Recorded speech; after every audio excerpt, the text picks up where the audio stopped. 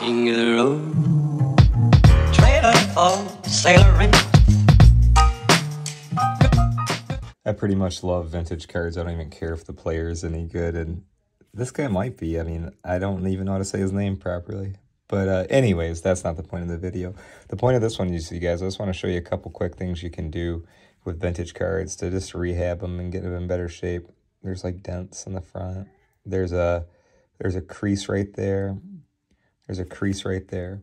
All right, so just something that kind of along the lines of stuff that I've been working on lately to show off is just little tips and tricks with um, vintage. And it's not a quick thing. You usually got to use the humidor and stuff, but there's like some some of that sticky stuff on the back.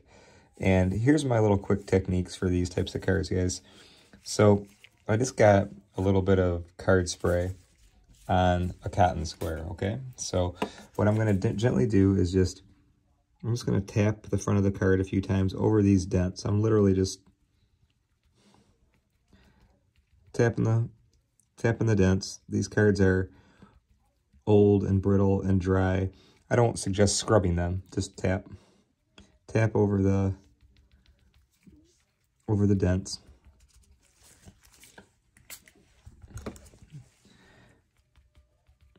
Just like that, okay? So this usually takes a couple cycles. So I'm just to get it a little bit damp. It looks like there's one in his arm. Okay, that's it. That's it for the front, okay? So now on the back, kind of the same same deal. Those bends are, I got one right there and right there. So what I'll do next is, oh, I also want to try to get rid of this this this gunk right here too. So what I'm going to do right now is just tap, tap, tap right on top of this. Sometimes these old dried on waxes will not come off. Um, and if you guys are new to watching my work and going, oh my God, you're getting the card a little wet. I'm not, here's the deal. Yeah, it's a little damp, but I'm not soaking it by any means. That's, I wouldn't want to, if it's, if it's all wet, it's not going to do you any good. But if you can just tap a little bit where those creases are, right there, so we'll flip it over, and that means this will add a little bit of moisture right there, okay? And then we had one right there, so the back of that is right here. And I'm just, you know, learning a few things with these older cards, and some of these wax, some of this wax is on here pretty darn good. But I'm just tapping on it to see if it will ever come loose. And while you're at it, you know, with the corners that are bent, you can just add a little bit of moisture to them. Okay. Let's see how the front looks. See, see this one right here? So what I'll do with that is just gently pull it down.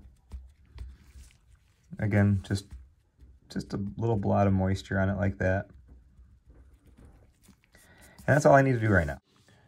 So I'm going to make this step two. So after we applied the little bit of card spray on the, the, the dented areas and the uh, creases, I just wanted to, while the card has a little bit of moisture in there, I just want to retain it between my two discs. Okay, so I just want to let it to kind of like get the new memory of being, you know, flat and smooth again like it was made years ago.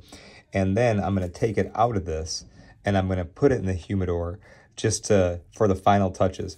Even though the humidor is humid, it will still dry in there, all right? And I just want it to slowly dry because if you ever have to use a little bit of moisture on a card, the worst thing you can do is just let it dry like by itself. Like for example, like my business cards, like picture if I got this wet and I just let it dry on the table, it's gonna look like that.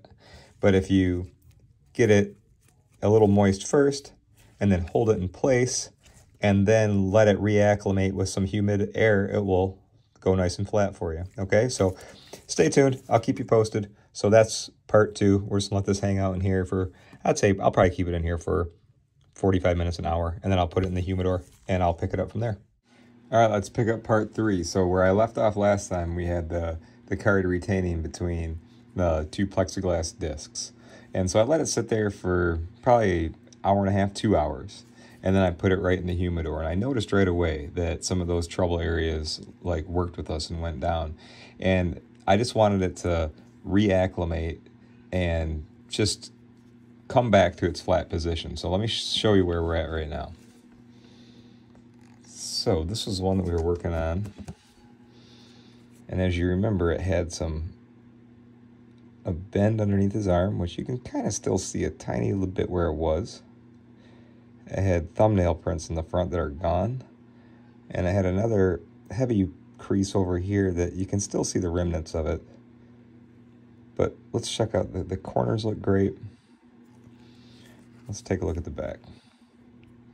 And even look at that, some of that um, stain from the, the wax or the wax pack or the gum or whatever, even reduced. And the corners look awesome. So fun, right? I mean, that's just uh, little things I'll do and little tests I'll do on the variety of cards that we get to work on. And I mean, clearly it's an old card, but God, it looks great.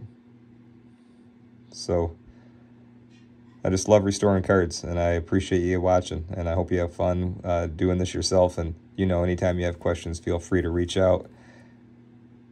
Always happy to catch up and talk cards. I'm Kurt with Kurt's Card Care. Man, trailer for sailoring. Ain't got no cigarettes, but